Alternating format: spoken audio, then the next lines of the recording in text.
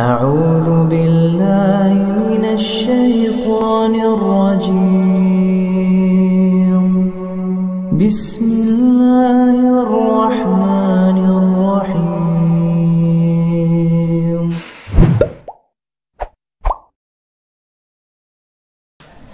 السلام عليكم ورحمة الله وبركاته. إن الحمد لله نحمده ونستعينه ونستغفره ونعوذ بالله من شرور أنفسنا ومن سيئات أعمالنا. من يهده الله فلا مضل له ومن يضلل فلا هادي له. وأشهد أن لا إله إلا الله وحده لا شريك له. وأشهد أن محمدا عبده ورسوله لا نبي ولا رسول بعده. يا أيها الذين آمنوا اتقوا الله حق تقاته ولا تموتن إلا وأنتم مسلمون. يا أيها الناس اتقوا ربكم الذي خلقكم من نفس واحدة وخلق منها زوجها وبث منهما رجالا كثيرا ونساء. واتقوا الله الذي تساءلون به والأرحام إن الله كان عليكم رقيبا. يا أيها الذين آمنوا اتقوا الله وقولوا قولا سديدا يصلح لكم أعمالكم ويغفر لكم ذنوبكم ومن يطع الله ورسوله فقد فاز فوزا عظيما. أما بعد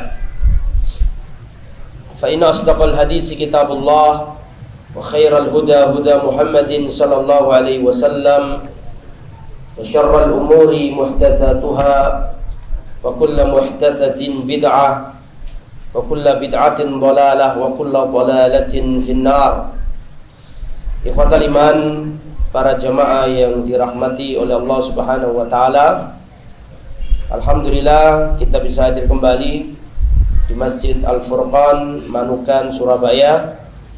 Kita lanjutkan kajian kitab Usul Sunnah karya Al Imam Ahmad bin Hambal rahimahullah rahmatan wasiatan.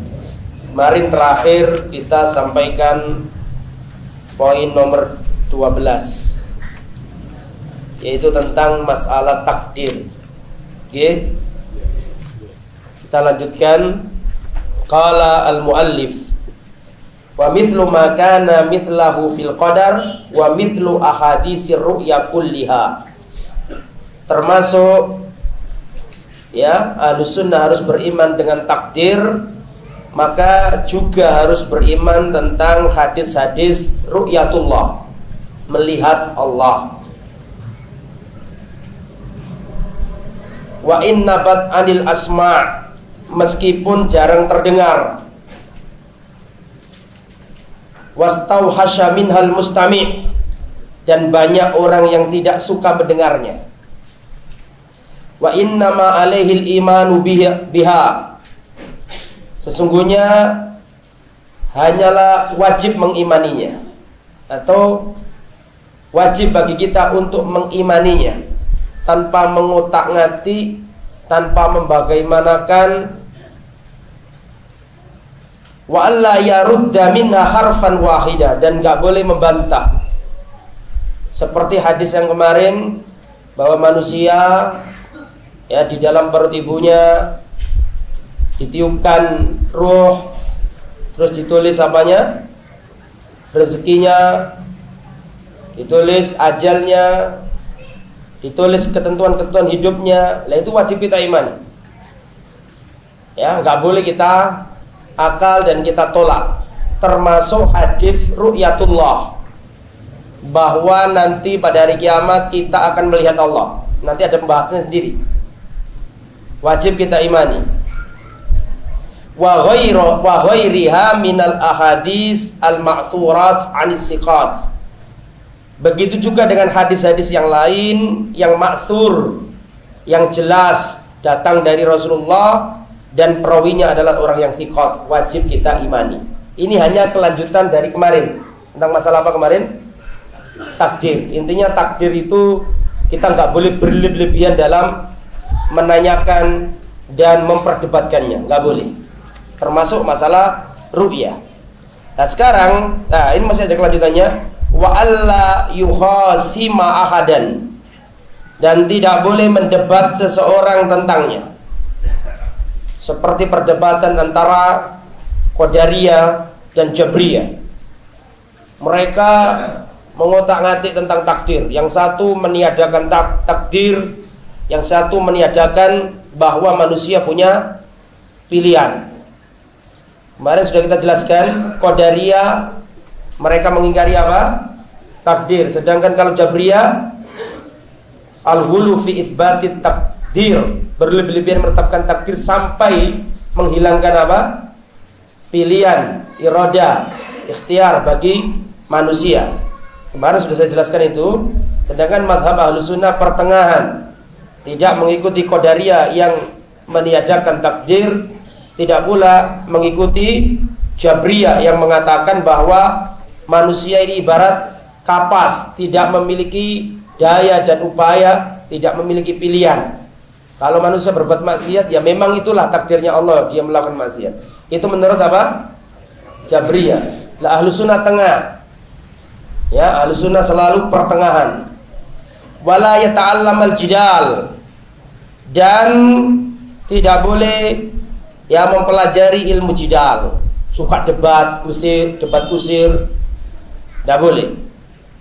Wa fa innal kalam fil qadar war ru'ya wal Qur'an wa ghairiha minas sunan minas sunani makruhun wa manhiyun anhu la yakunu sahibuhu wa in asaba bi kalamihi as-sunnah min ahli sunnah la yakunu sahibuhu min ahli sunnah hatta yad'al jidala wa yusallim wa yu'mina bil asar atau bil asar Sesungguhnya perkataan tentang takdir, tentang masalah ru'yah, tentang masalah Al-Qur'an, takdir itu kan pembahasannya apakah manus, apakah takdir itu ada benda?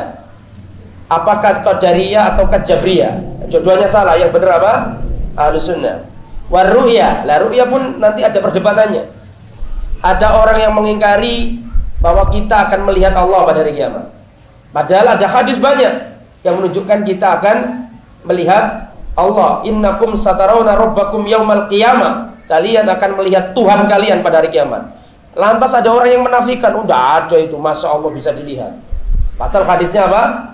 Banyak. Nah nanti kita jelaskan, tapi itu belum sampai. Setelah ini baru kita jelaskan nanti ada rupiah. Wal Quran termasuk berdebat masalah Al Quran. Ini juga nggak boleh.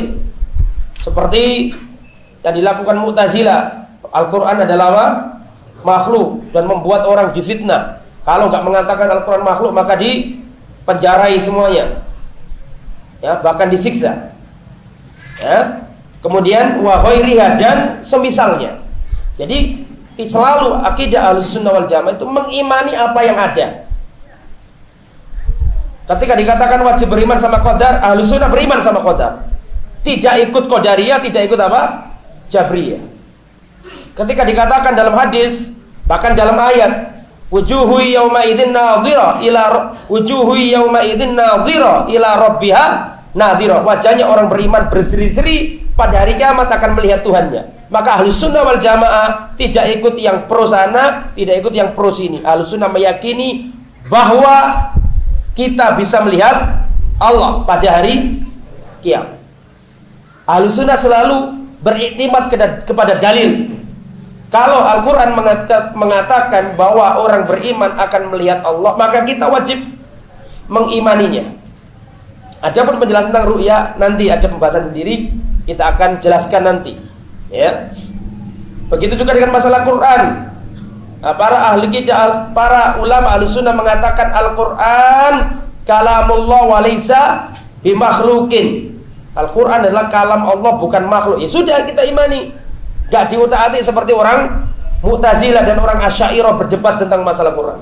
Selalu ahli sunnah wal jamaah meyakini apa yang ada pada dalil. Itu di antara keistimewaannya ahli sunnah. Kemudian barang siapa yang melakukan itu semuanya, ya seperti masalah takdir tadi berdebat, masalah ru'ya, masalah Al-Quran, la yakunu sahibuhu mereka tidak menjadi ahli sunnah Meskipun omongan debatnya itu kadang-kadang sesuai sunnah, tapi mereka bukan ahlu sunnah. Hatta yada al jidal sampai mereka mau meninggalkan jidal, mau meninggalkan debat kusir masalah itu semuanya. Wa yusallim dan menerima. Sudah nggak usah debat, cukup menerima. Allah punya takdir. Khairihi wa syarrihi itu ahlu sunnah. Gak usah didebat-debat seperti perdebatan antara Qadariyah dengan Jabriyah, nggak mau ikut-ikutan. Ahlu sunnah tengah. Ya. Wa yu'min bin bil asar dan ahlu sunnah meyakini dalil, meyakini asar nas-nas dari Al-Quran dan sunnah dan asar dari para sahabat. Tidak mempertentangkannya satu sama lain. Ya, memahaminya pakai pemahaman salaf, tidak pemahaman uh, orang-orang khalaf. Allah Subhanahu wa taala berfirman dalam surat Al-Isra wala taqfu ma laysa laka dan janganlah kamu mengikuti apa yang kamu tidak mempunyai pengetahuan tentangnya. Rasulullah melarang kita debat masalah takdir. Idza dzukiral qadar fa'amsiku. Apabila disebut tentang takdir, diamlah. Cukup imani, terima.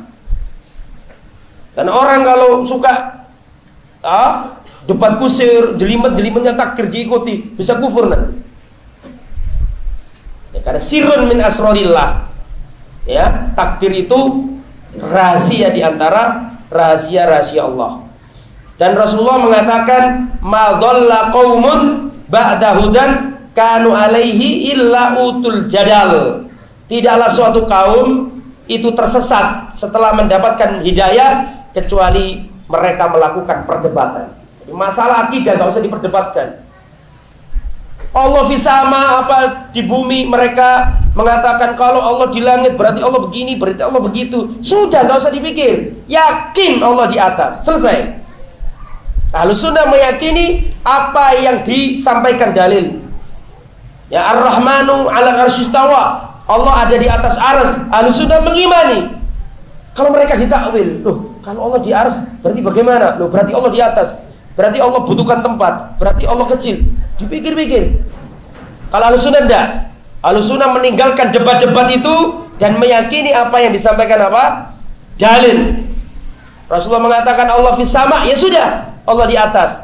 Tidak diperinci, tidak ditakyif, tidak diperum, tidak diperumpamakan, tidak diniadakan, tidak ditakwil. Cukup Allah di, di atas kita imani. Selesai. Itu akidah Ahlussunnah wal Jamaah. Jadi pengarang ini setelah menjelaskan kemarin masalah takdir, beliau ngasih pen, apa Al Imam Ahmad menyampaikan bahwa gak boleh berlebihan debat masalah hal-hal yang tadi itu. Masalah takdir, terus masalah apa tadi? Ru'yah dan masalah uh, Al-Qur'an. Itu nanti ada babnya sendiri kita jelaskan. Nah, sekarang kita akan membahas Poin yang keberapa? 13 ya. Ya ini baru poin yang beda. Kalau poin 12 tentang takdir, sekarang poin yang ke-13. Wal Qur'anu kalamullahi walaysa bimakhluqin. Al-Qur'an adalah kalam Allah dan bukan makhluk. Ini keyakinan akidah Ahlus Sunnah wal Jamaah berbeda dengan keyakinan Mu'tazilah yang mengatakan bahwa Al-Qur'an itu adalah makhluk. Al-Qur'an tidak makhluk. Al-Qur'an kalamullah walaysa bimakhlukin. Kalamnya Allah dan bukan makhluk. Wala yadhuf an yaqula laysa bimakhlukin. Dan tidak boleh melemah dengan mengatakan Al-Qur'an bukan makhluk. Ya. Harus berani mengatakan Al-Quran laisa bimakhluk Gak boleh melemah Karena pada zaman itu Ada khalifah yang terpengaruh Pemikiran Mu'tazilah Kalau mengatakan Al-Quran kalamullah Masih banyak yang berani Tapi kalau mengatakan Al-Quran bukan makhluk Jarang yang berani Paham? Nah kata Imam Ahmad Ahlu sunnah gak boleh melemah Untuk mengatakan Al-Quran bukan makhluk Paham maksudnya? Karena pada waktu itu zaman fitnah, banyak ulama-ulama yang tiarap. Seperti yang saya sampaikan dulu, masih ingat kan? Banyak ulama yang ada yang hijrah dari Baghdad keluar, ada yang ke Mesir, ada ke Syam karena takut di penjara, takut disiksa. Ada ulama lain bertauriah. Bertauriah masih ingat kan? Al-Quran ini jadi makhluk, maksudnya itu apa? Jarinya. Gak berani untuk mengatakan Al-Quran bukan makhluk. Lah Imam Ahmad mengatakan ahlus sunnah gak boleh lemah. Harus berani mengatakan bahwa Al-Quran bukan makhluk. Seandainya ditanya oleh oleh khalifah atau oleh pejabat yang terpengaruh Mu'tazilah, apa Al-Qur'an itu? Kalau dijawab Al-Qur'an itu kalamullah titik, itu masih belum lengkap. Harus berani mengatakan Al-Qur'an kalamullah dan ada kelanjutannya, apa? Walaysa bimakhlukin. Karena itu yang membedakan akidah Ahlussunnah dengan akidah Mu'tazilah. Fa inna kalamullah laisa bibainin minhu dan kalamnya Allah itu tidak terpisah dari Allah. Kalamnya Allah kan bagian dari sifat. Sifat itu tidak terpisah dari sifatnya Allah tidak terpisah dari Allah. Walaysa minhu syai'un makhluqun dan tidak ada sedikit pun dari Al-Qur'an itu yang makhluk. Karena Al-Qur'an itu bukan makhluk. Karena kalau kau artikan Al-Quran itu makhluk, yang namanya makhluk itu sempurna apa enggak sempurna? Tidak ada makhluk yang sempurna. Makanya nggak boleh kita mengatakan Al-Quran itu apa? Makhluk. Wa iyyaka wa munadharata man ahdasa fihi. Dan jauhilah, hindarilah berdebat dengan orang yang membuat perkara baru dalam masalah Al-Quran ini. Jangan ikut debat. Rasulullah mengatakan al-mira'u fil Qur'ani kufrun. Berdebat tentang Al-Qur'an adalah kekufuran. Tak boleh. Ya, wajib diimani Al-Qur'an kalamullah wa laysa bimakhlukin. Tapi nggak boleh ikut debat seperti debatnya ahli kalam. Kemudian jauhilah olehmu berdebat dengan orang yang membuat perkara baru tentang Al-Qur'an dan jauhilah kalian berdebat dengan orang yang mengatakan bilafdi wa ghairi. Al-Qur'an itu lafat lafadku dalam mengucapkan Al-Qur'an adalah makhluk. Jadi ada itu golongan lafdiyah namanya. Golongan lafdiyah ini golongan yang mengatakan ucapanku dengan Al-Qur'an adalah makhluk. Gak jelas. Ketika ditanya Al-Qur'an itu apa? Ucapanku dengan Al-Qur'an itu makhluk. Ngambang kalau ahli sunnah tidak. Al-Quran kalamullah bukan makhluk. Ada orang yang ngambang lafziyah yang meyakini lafaz saya terhadap saya membunyikan Al-Quran bunyi dari kalam saya ini apa? Makhluk. Bingung kan sampean kan? Ya, makanya nggak usah ikut debat-debat biar nggak bingung. Ini ilmu kalam zaman dulu orang-orang mendebatkan kayak gini-gini. Atau jangan ikut kelompok wakifiyah, kelompok yang tawakuf, yang gak jelas. Ketika ditanya Al-Quran makhluk apa enggak? Saya itu nggak tahu Al-Quran makhluk apa enggak makhluk. Tapi yang jelas Al-Quran itu kalamullah. Kata Imam Ahmad, orang yang berkata seperti ini seperti orang yang mengatakan Al-Quran itu makhluk. Ya perhatikan. Waman wakofafihi dan orang-orang yang tawakuf yang nggak jelas, nggak sana nggak sini. Dia berkata, la adri makhlukun awlaysa makhlukin. Aku nggak tahu. Al-Quran itu makhluk apa nggak makhluk saya nggak tahu. Wa inna huwa kalamullah. Pokoknya yang penting Al-Quran itu kalamullah. Kata Imam Ahmad, fahada sahibu bid'ah. Orang yang ngomong kayak gini, ini pun termasuk ahli bid'ah. Gak jelas. Qal seperti orang yang berkata huwa makhlukun. Orang yang mengatakan aku nggak tahu Al-Qur'an itu makhluk apa nggak makhluk. Orang ngomong gini nih, sama dengan orang yang mengatakan Al-Qur'an itu makhluk. Harusnya jelas. Al-Qur'an kalamullah walaysa bimakhlukin. Dan itu Imam Ahmad ketika dicabui selalu ngomong kayak gitu. Al-Qur'an kalamullah walaysa bimakhluqin. Al-Qur'an adalah kalamnya Allah dan Al-Qur'an bukan. Dan ini pendapatnya salaf. Umar bin Khattab ditanya eh, Umar, Umar bin Khattab mengatakan Al-Qur'anu kalamullah. Al-Quran itu kalam Allah. maka janganlah kalian memalingkan sesuatu dengan pendapat-pendapat pikiran kalian. Imam Malik mengatakan Al-Quran kalamullah Al-Quran adalah kalamnya Allah Sungguh kecil orang yang mengatakan Al-Quran itu makhluk Imam Syafi'i mengatakan Al-Quran kalamullah Walisa bimakhlukin Wa man qala bi anna al-Quran makhluk faqad kafar. Barang siapa mengatakan Al-Quran makhluk Maka dia kafir. Yang ngomong siapa tadi? Imam Syafi'i. Ada di kitab sampean semuanya itu. Jadi intinya kesimpulannya Akidah ahlu sunnah wal jamaah tentang Al-Quran Al-Quran itu adalah kalam Allah Dan bukan makhluk. Itu intinya Dan itu yang harus kita yakini.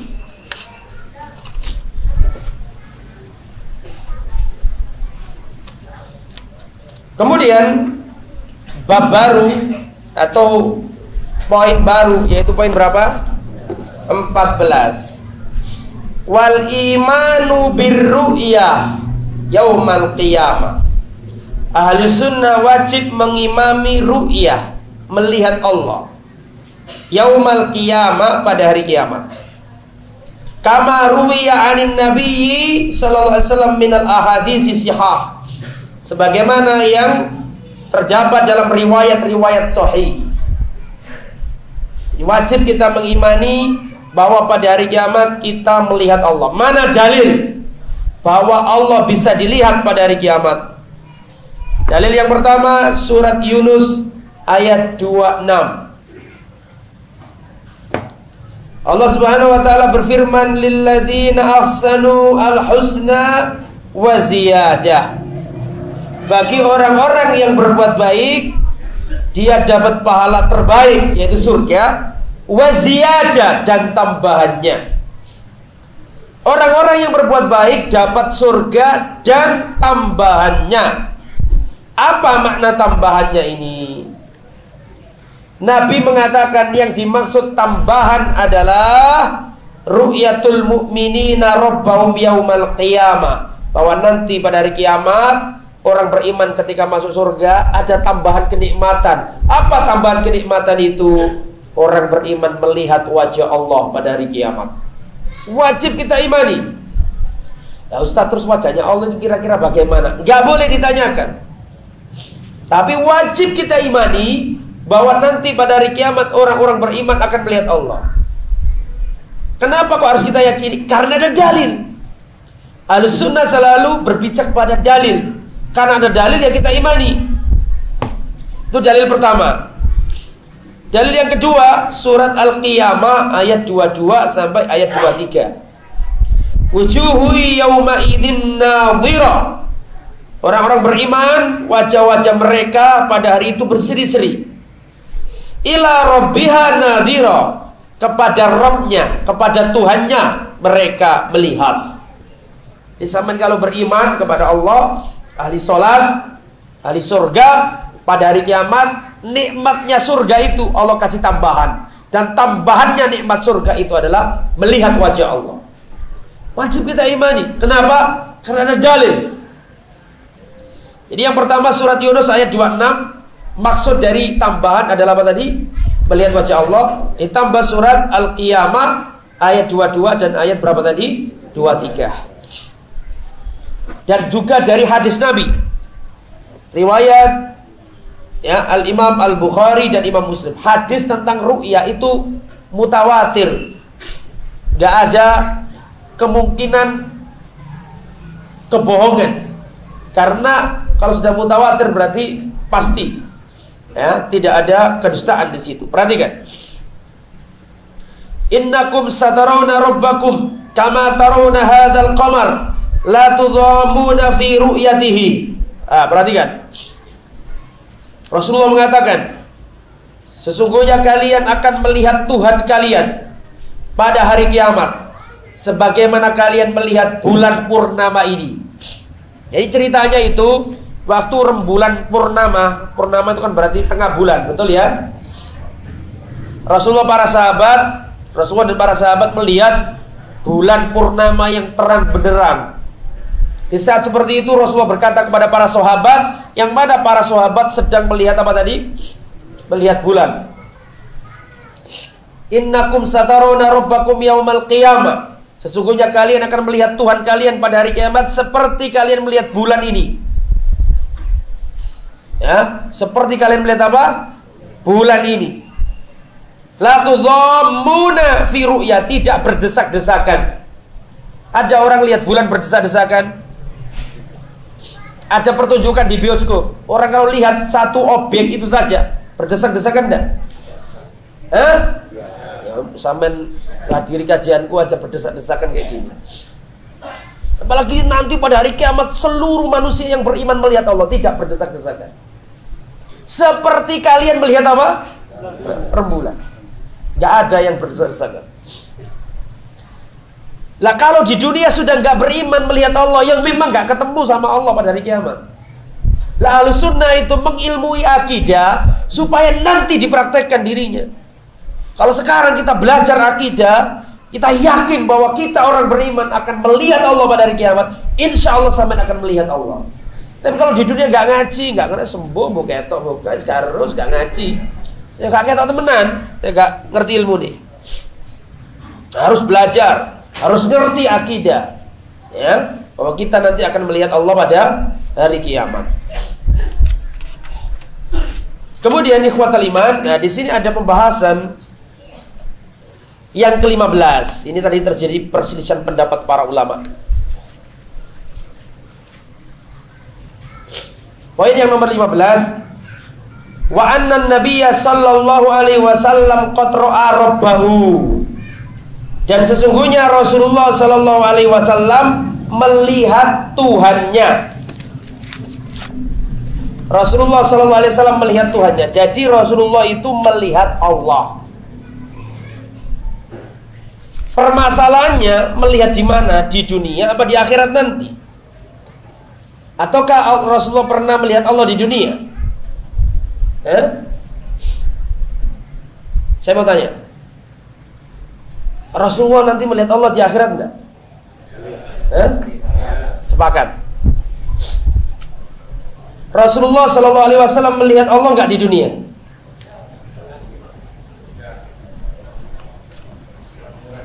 Rasulullah Shallallahu Alaihi Wasallam melihat Allah apa tidak di dunia? Hah? Tidak. Tidak ya? Perhatikan.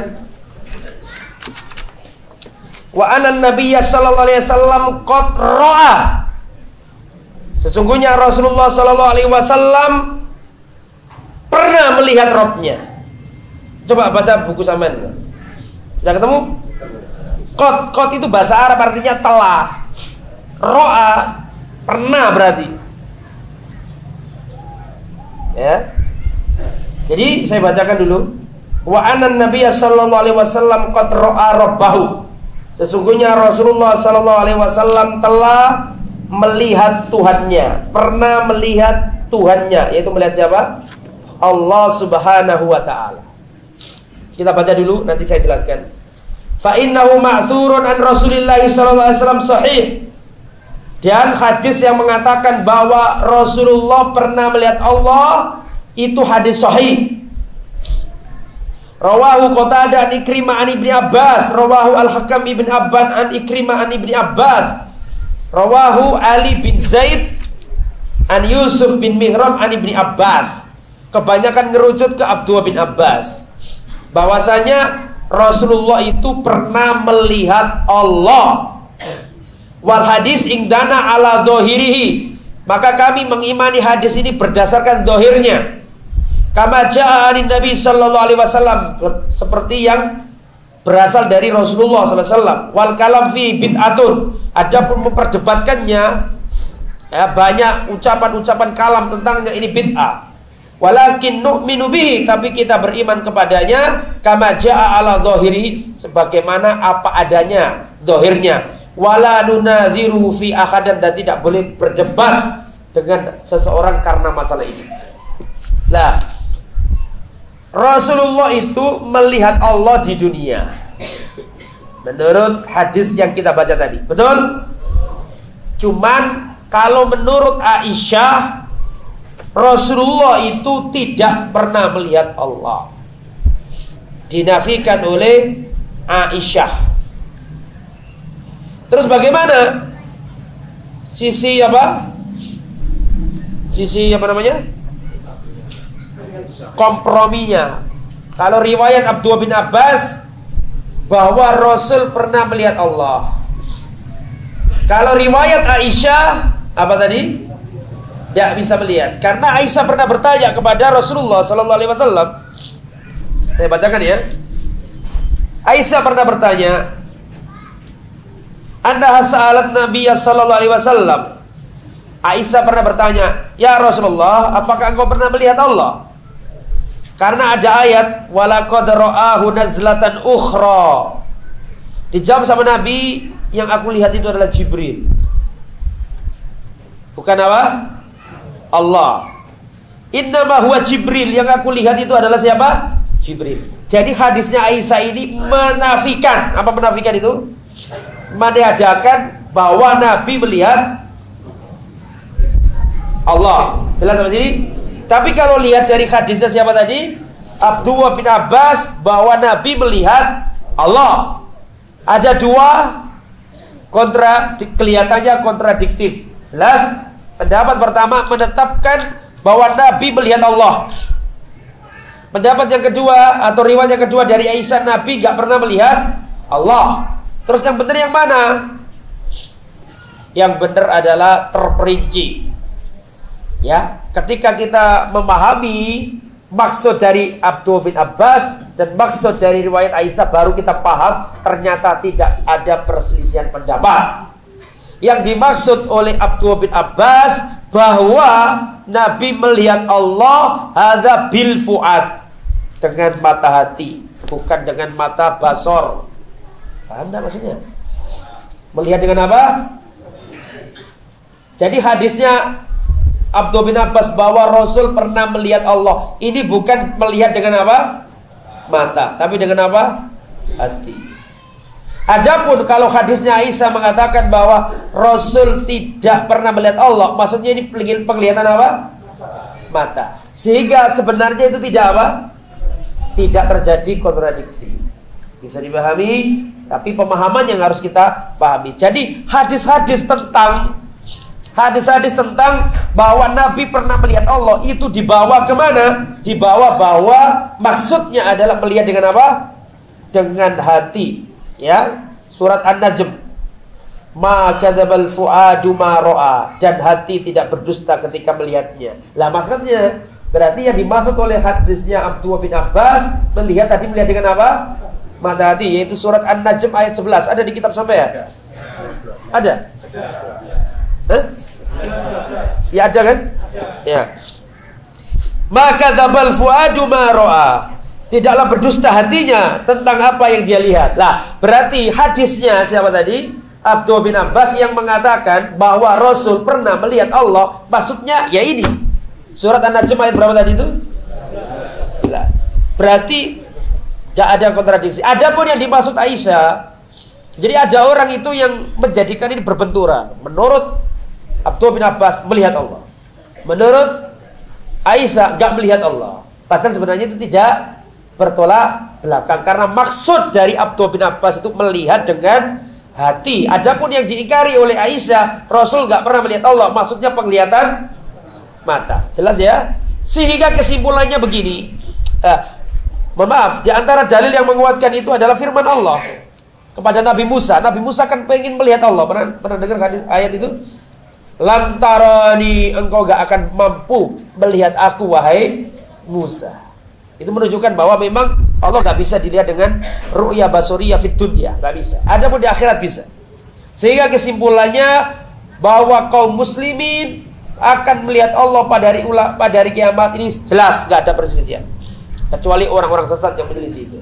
Adapun Rasulullah melihat Allah ini pun kita katakan benar tetapi kalau di dunia maka Rasulullah melihatnya dengan apa? Mata hati. Adapun di akhirat Rasul dan seluruh orang yang beriman akan melihat Allah dengan apa?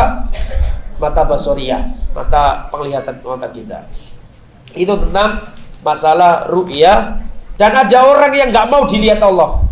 Mohon maaf, ada orang yang Allah nggak sudi melihatnya pada hari kiamat. Terhalangi.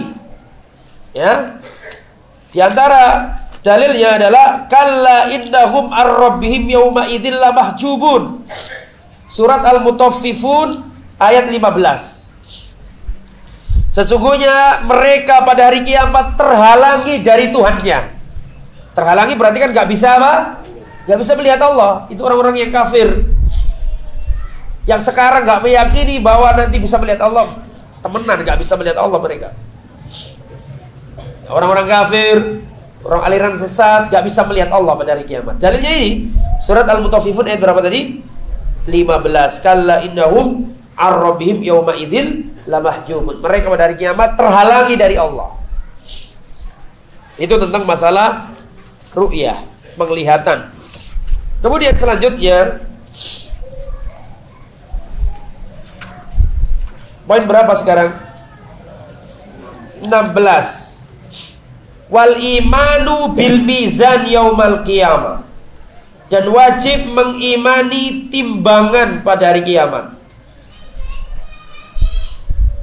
yaitu al mizan dan nanti yang ditimbang ada berapa? Eh? Yang ditimbang pada hari kiamat berapa?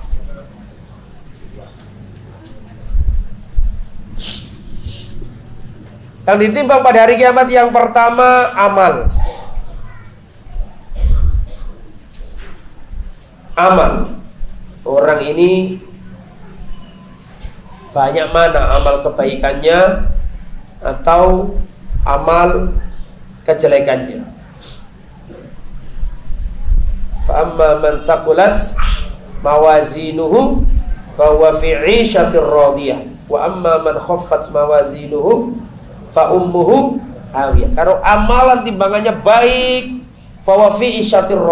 Dia hidup dalam keridhaan. Wa amma terus wa amma man khaffat mawazinuhu, ada pun orang yang ringan timbangan amalnya, fa ummuhu. Maka hidupnya susah masuk neraka. Jadi yang pertama ditimbang adalah apa? Atau yang ditimbang adalah satu amalnya. Yang kedua yang ditimbang adalah jasadnya. Seperti yang ada di kitab panjenengan. Yuzanul abdu yaumal qiyamah fala yazinu janaha ba'udah. Seorang hamba akan ditimbang pada hari kiamat, maka ia tidak dapat mengimbangi berat sayap seekor nyamuk. Dalam riwayat yang lain dicantumkan dari hadis Abu Hurairah, "Innahu layatir rajulul azim as-samin yaumal qiyamah." Sesungguhnya akan datang pada hari kiamat seorang laki-laki yang gede, perkasa, gemuk. Kemudian la yazinu igdallah janaha ba'udha. Ia tidak dapat mengimbangi berat sayap seekor nyamuk. Orangnya gagah, gede, gemuk, ditimbang pada hari kiamat ternyata tidak mampu mengalahkan beratnya satu apa sayap seekor nyamuk. Padahal gede badannya. Saya mau tanya, kira-kira sayap nyamuk itu berapa? Beratnya berapa? Gak ada beratnya saking saking sedikitnya ya kan? Tapi kalau orangnya itu durjana nggak punya kebaikan sama sekali ditimbang pada hari kiamat lebih berat ekor nyamuk atau sayap nyamuk. Ini menunjukkan bahwa nanti yang ditimbang di antaranya adalah apa?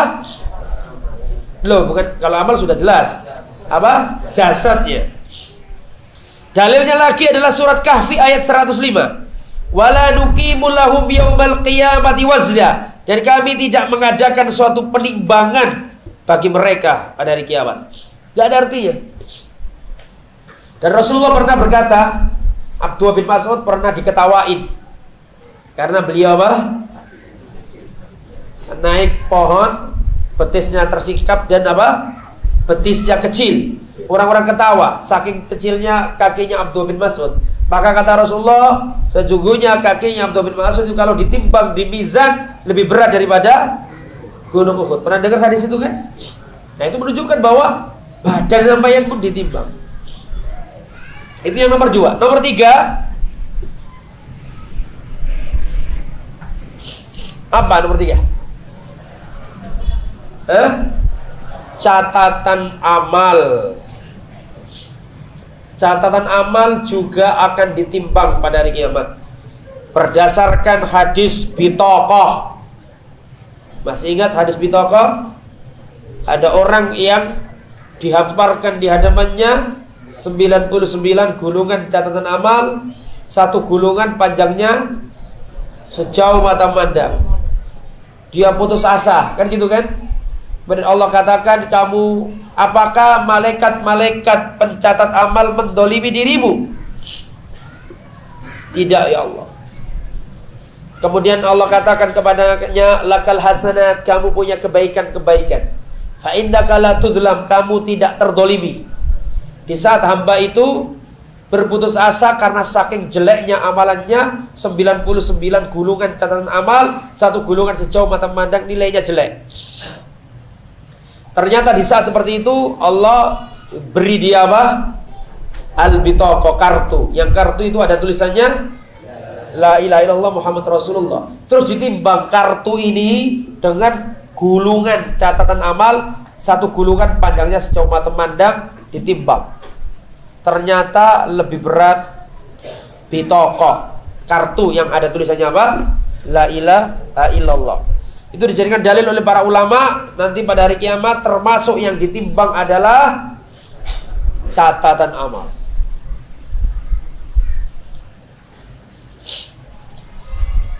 Di antara dalil lain bahwa adanya mizan adalah firman Allah, "Ma min syai'in yudha'u fil mizan asqal min husnil khuluq." Tidak sesuatu yang tidak tidak ada. Sesuatu yang ditimbang pada hari kiamat yang lebih berat dari akhlak yang baik. Ya, Akhlak yang baik itu timbangannya berat Pak. Pada hari kiamat. Maka adalah kita banyak-banyak beramal yang baik Berakhlak yang baik. Rasulullah belum mengatakan Kalimatani habibatani ilar rahman.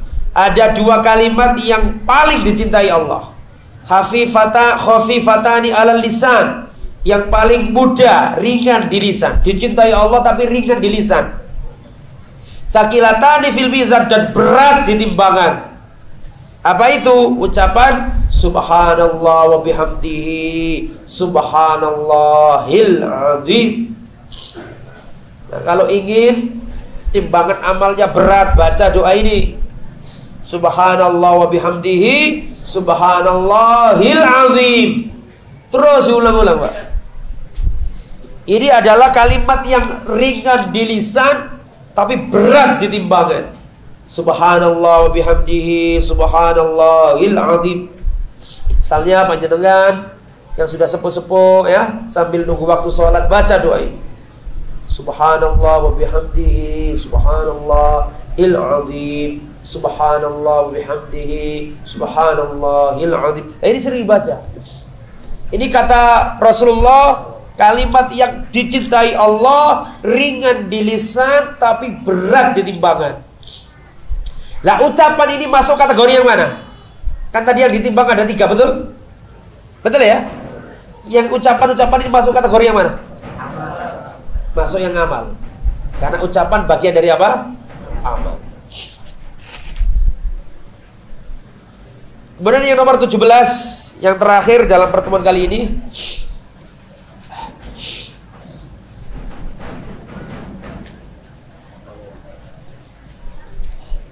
Nomor 17 G. Wa anna Allah ta'ala yukallimul ibadah yaumal qiyamah. Dan sesungguhnya Allah akan mengajak bicara hamba-hambanya pada hari kiamat Walaysa bainahu wa bainahu turjuman. Antara dirinya dengan Allah tidak ada penterjemah. Wal imanu bihi wa tasdiku bihi maka wajib mengimaninya dan mempercayainya.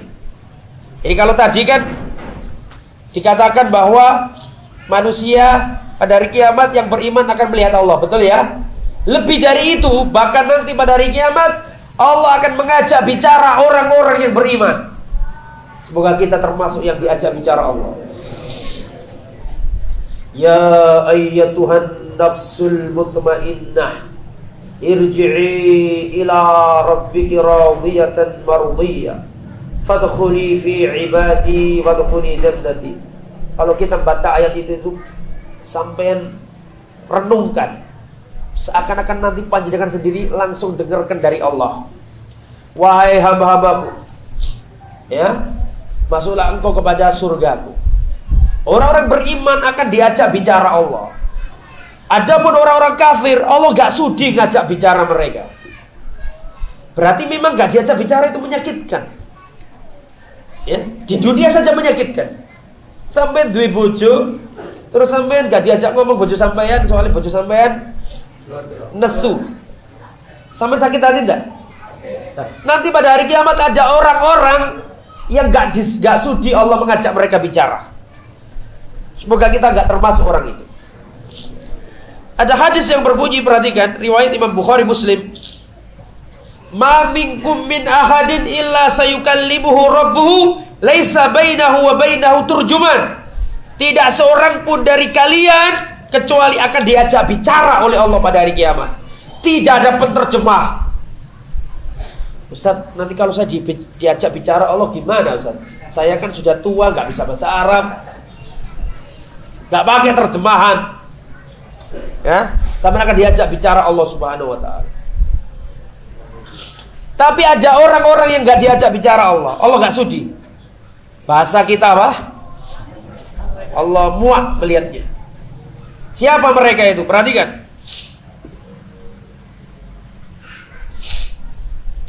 Salah satu la yukallimuhumullah yaumal qiyamah. Tiga orang.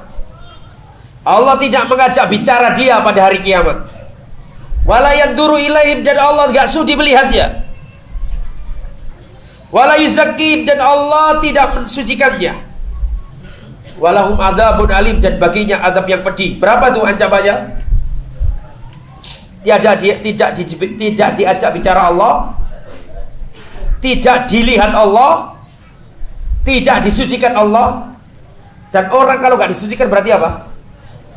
Masuk neraka karena nggak ada orang yang bersih itu nggak ada. Kita semua ini kotor, tapi Allah bersihkan nanti. Saking sayangnya kepada kita, Allah bersihkan. Tapi ada orang yang Allah nggak mau membersihkan dirinya. Dan orang kalau nggak dibersihkan Allah pasti kotor karena nggak ada manusia yang apa? Bersih tidak diajak bicara Allah, tidak dilihat Allah, tidak dibersihkan Allah dan baginya azab yang pedih. Tiga orang. Siapa itu? Yang pertama. Rasulullah mengulangi tiga kali. Tidak diajak bicara Allah pada hari kiamat, tidak dilihat, tidak disucikan, tidak ada diazab. Rasul mengulangi tiga kali. Siapa mereka itu? Yang pertama al-musbil Orang yang isbal pakaiannya. Mendulur di bawah mata kaki. Makanya hati-hati pak, yang isbal-isbal itu nangus ketoan ya. Daripada nanti gak diajak bicara Allah, gak disucikan. Nah, potong celananya itu loh, yang masih menutupi mata kaki. Gantengmu itu loh gak berkurang gara-gara dipotong. Ya. Saya ganteng ya ganteng, saya elek ya saya elek. Gak ada hubungannya sama cingkrang gak cingkrang. Imam Imam Az-Zahabi memasukkan masalah isbal ya menutup mata kaki itu minal kabair termasuk dosa besar. Jangan dianggap remeh. Masalah serius. Ancamannya banyak. Ada yang nggak dilihat Allah, ada yang apa apa saja di bawah mata kaki tempatnya di neraka macam-macam banyak hadisnya banyak sekali. Harusnya kita takut. Ya, menjalankan harus kita menjalankan perintah Allah. Kemudian yang kedua al-mannan. Orang-orang yang mengungkit-ungkit pemberian. Nah, siapa diungkit-ungkit terus? Diungkit-ungkit terus. Nah, ini juga menyebabkan tidak dilihat Allah, tidak diajak bicara. Kemudian yang nomor tiga, al munafiqu sil'atahu bil halafil kadhib. Orang yang melariskan dagangannya dengan sumpah palsu. Banyak nggak terjadi di di pasar-pasar itu. Ya, gampang ngomong sumpah. Wah demi Allah pak, ini kulakannya saja belum dapat. Padahal dusta dia. Ini nggak boleh tiga orang ini. Dan ada hadis lain tambahan dari hadis itu. Rasulullah mengatakan ada tiga orang lagi yang tidak diajak bicara Allah, tidak dilihat Allah, tidak diajak bicara, tidak disucikan. Mereka itu adalah tambahannya ini syaikhun zanin, orang tua yang berzina. Istuwek tapi zina. Wa malikun kadzab. Penguasa, raja, pemimpin, kadzab pembohong. Wa ailun mustakbir dan orang miskin tapi sombong. Coba antum melihat tiga orang ini. Tiga orang ini seharusnya nggak melakukan itu. Perhatikan yang pertama orang tua yang berzina. Seandainya an orang muda berzina wajar, meskipun nggak boleh tapi ya namanya orang muda sawatnya tinggi. Ini sudah orang tua berzina. Allah muak melihatnya. Yang nomor dua, raja yang pembohong. Harusnya raja nggak usah berbohong. Ya. Kemudian orang miskin yang sombong.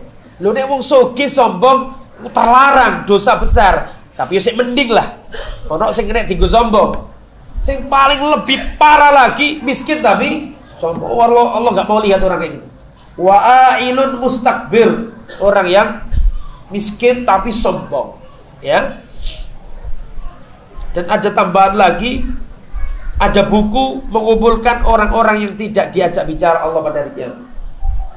Satu, dua, tiga banyak. Tapi yang saya sebutkan tadi enam orang itu di antaranya. Insya Allah akan kita lanjutkan pada kesempatan yang akan datang.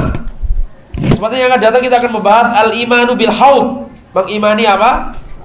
Telaga. Sudah ada belum ini? Ada dulu. Setelah itu kalau ada tanya jawab silakan. Taib. Ya beberapa pertanyaan. Assalamualaikum warahmatullahi wabarakatuh.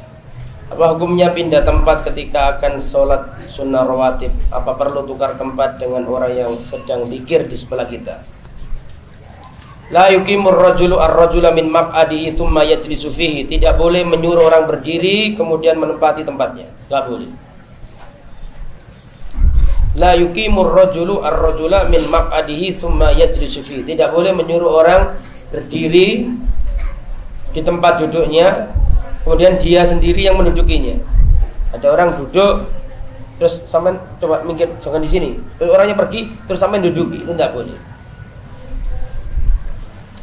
Lah kadang-kadang orang itu masih dikir kan gitu ya masalahnya nah sedangkan mas sampaian juga sudah selesai dikir kalau segitu kalau begitu kondisinya nggak usah sampai nyuruh orang pindah. Kecuali kalau sudah sama-sama apa? Berdiri ya tukar tempat tidak apa-apa insya Allah. Tapi kalau orangnya masih khusyuk dikit sedangkan sampai yang terkesusu-susu terus sampai jawil pak pindah pak. Tidak boleh pas la yukimur ada hadisnya loh. La yukimur rajul ar-rajula min majlisi thumma yajlisu fi atau yakadu fihi atau kama qala sallallahu tidak boleh membuat orang apa namanya la yukimur rajulu tidak boleh seorang membuat orang lain berdiri kemudian menempati tempatnya Kecuali kalau sudah berdiri terus tukar ya cara apa? Toh sampean sudah memutuskan sholat tadi dengan apa? Dikir. Bisa dipahami ya? Kecuali kecuali kalau langsung gitu itu kan sampean sudah memutusnya dengan apa? Dikir lama. Maka solusinya Allah alam kalau sudah sama-sama berdiri ya tukar nggak apa-apa.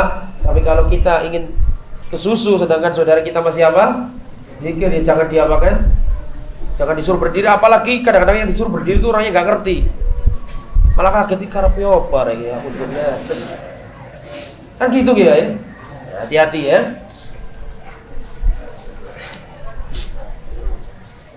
Assalamualaikum warahmatullahi wabarakatuh. Waalaikumsalam warahmatullahi wabarakatuh. Ustaz, adakah cara cepat kita bisa menilai zuhudnya seseorang?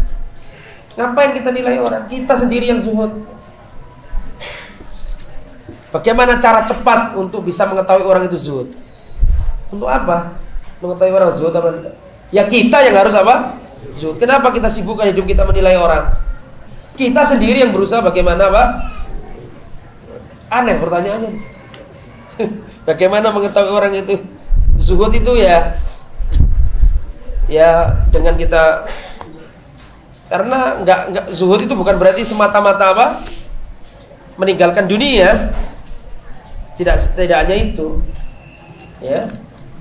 Tapi orientasi hidupnya adalah apa? Jadi intinya ya kita nggak diperintahkan untuk menilai siapa orang, tapi kita sendiri yang harus apa? Jangan sibuk menilai orang. Sibuklah membagusi diri kita.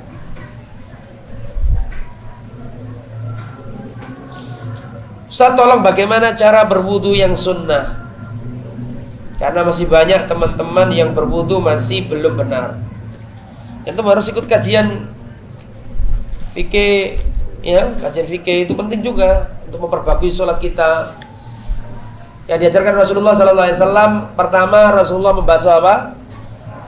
Tangan Kedua ini loh. Tak boleh Apalagi bangun tidur. Harus di apa? jadi sampai pergelangan. Rasulullah biasanya suka tayamun kanan dulu baru yang kiri. Dan Rasulullah suka mengulangi ya. Apa satu kali kalau belum bersih dua kalau dua atau tiga. Setelah tangan terus apa? Rasulullah Shallallahu Alaihi Wasallam melakukan ah, tamat mut madmado wal istinsyak wal istinsar satu paket tiga itu ngambil air dimasukkan ke mulut itu namanya madmado. Madmado itu adalah memasukkan air ke mulut terus di digumur-gumurkan. Sebagian masuk ke hidung. Itu namanya istinsyak. Yang ketiga apa? Istinsar. Itu satu paket. Madmado mengambil air itu dimasukkan ke mulut, dikumur itu namanya madmado. Sebagian dimasukkan ke hidung namanya istinsyak. Terus setelah itu di keluarkan namanya istinsar. Ya. Jadi ngambil air wudhu sebagian masuk ke mulut sebagian ditarik ke hidung terus dikeluarkan. Kalau itu sudah selesai baru apa? Berapa kali tadi? Berapa kali. Setelah itu apa membasuh muka membasuh muka bukan mengusap bedanya mengusap itu tangannya basah diginiin itu mengusap tapi kalau membasuh itu berarti harus ada air. Ya. Mukanya dari awal rambutnya ini, tumbuhnya rambut itu sampai ke muka ini. Kemudian setelah itu tangan. Berapa kali tadi mukanya? Tiga kali. Setelah itu tangan sampai ke siku. Sampai ke siku. Tiga kali kanan dulu, baru apa? kiri. Setelah itu Rasulullah Sallallahu Alaihi Wasallam mengambil air dan mengusap kepalanya dari awal rambut ini ditarik ke belakang terus dikembalikan lagi tanpa mengambil air wudhu lagi Rasulullah langsung mengusap telinga dan pendapat yang mengatakan sebagian roos itu lemah meskipun itu pendapatnya Imam Syafi'i tapi pendapat yang marju jadi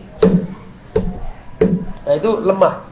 Karena wamsahu birusikum usaplah kepala kalian.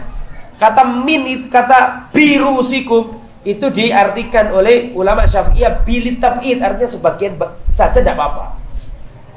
Tapi pendapatnya kaul atau pendapatnya ulama madhab itu kita hormati. Tetapi hujah tetap bukan ulama madhab. Hujah adalah apa? hadis, ada dalil. Maka praktek yang dilakukan Rasulullah dari ujung ini di sampai belakang terus dikembalikan lagi terus ininya dimasukkan ke mana? Nah, terus yang jempolnya di di punggung punggung apa jadi? Punggung punggung daun telinga. Yang satu di dalam, yang satu di Nah, setelah itu membasuh apa? Kaki. Dianjurkan untuk disela-selai kakinya itu. Karena Pak, kalau orang itu pekerja pekerja kasar, itu meskipun diguyang air, kadang-kadang nggak -kadang pak. Mohon maaf nih, pekerja kuli bangunan misalnya gitu kan. Kalau wudhu, kalau kakinya nggak diginiin itu, karena saking banyak apanya, banyak pasir itu kadang-kadang nggak sampai meresep. Bisa dipahami ya? Maka disunahkan untuk di tahlilil asobe, di celah-celah Celah-celah pakai kelingking aja, pakai jempol begini repot. kayak kelingking aja. Setelah itu baru yang yang kiri. Terus baca doa setelah wudhu. Allahumma ja'alna minat tawabin wa ja'alna minal dan seterusnya. Itu secara umum ya. Hadis Maula Utsman bin Affan itu antum buka ya ma'ruf lah antum buka kitab Al-Wajiz insya Allah diterangkan di sini. Ya. Wallahu a'lam bishawab. Ada pertanyaan lagi silakan.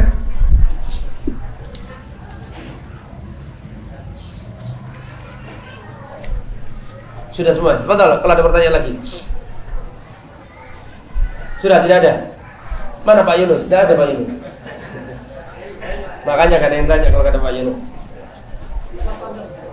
Oh, silakan. saya pernah melihat jamaah sholat itu saya bertanya-tanya untuk takbir kalau tak katakan kanan dulu atau kiri dulu soalnya ada yang gini tangan dulu kanan kemudian putar